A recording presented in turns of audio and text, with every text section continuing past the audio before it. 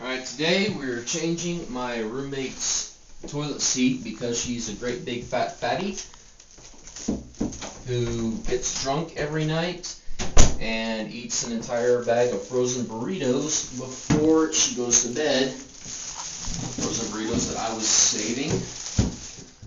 So I guess the first thing we do is clean this mess up, get a workspace going. glad I was saving this.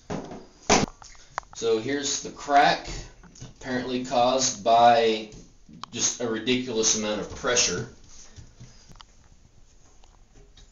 Yeah, I usually have to unclog this about twice a week because, well, well you know, if she spent a little less time eating and a little less time in sodomy, her turds would be smaller and wouldn't clog the toilet as much. One time I actually found a half-flushed uh, shoulder massager and a pair of nunchucks in here.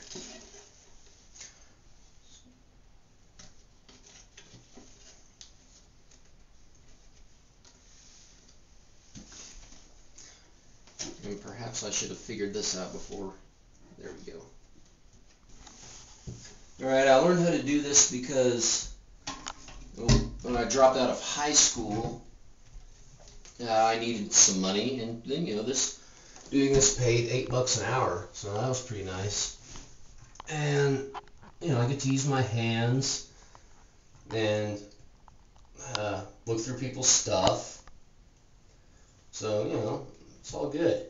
So we're almost done.